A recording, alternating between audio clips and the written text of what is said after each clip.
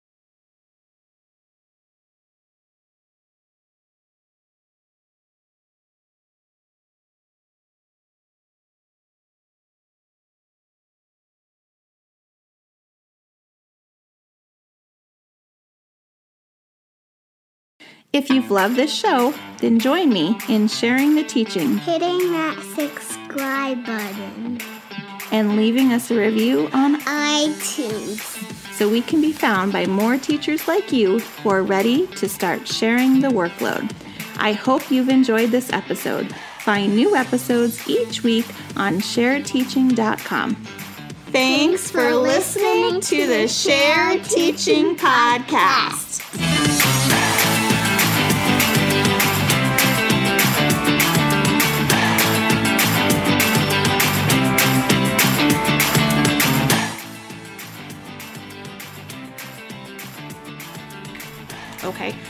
Um, so anyway, um um so um um and we're talking about um